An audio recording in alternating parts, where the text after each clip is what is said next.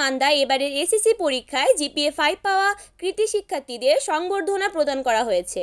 এ উপলক্ষে বুধবার বেলা বারোটার দিকে পরিষদ মিলানায়তনে আলোচনা সভার আয়োজন করা হয়।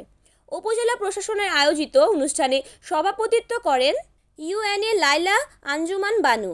এতে প্রধান অতিথি ছিলেন স্থানীয় সংসদ সদস্য এস এম ব্রোহানি সুলতান মাসুদ গামা। অনুষ্ঠানে অন্যদের মধ্যে বক্তব্য দেন সাবেক সংসদ সদস্য ইমাজউদ্দিন প্রমাণিক। উপজেলা চেয়ারম্যান এমদাদুল হক মোল্লা। উপজেলা মাধ্যমিক শিক্ষা কর্মকর্তা শাহালম সরকার। মান্দা থানার ভারপ্রাপ্ত কর্মকর্তা ওসি মোজাম্মেল হক কাজী।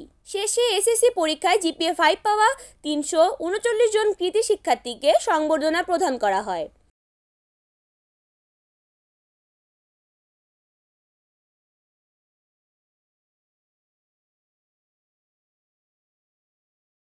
রিপোর্ট করেছেন নগা প্রতিনিধি আলামিন এন টিভি।